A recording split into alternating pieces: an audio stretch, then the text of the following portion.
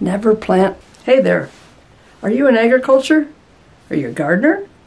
Market gardener? Farmer? Hey, you're missing out on the lowest hanging fruit in agriculture unless you're putting a biologic seed inoculant on your your seeds, your transplants, um, in your planter, in the ditch. If you're not doing that, your plant is missing out on some insect protection, better disease control, and lots bigger, healthier roots. Look at these, right? This is treated.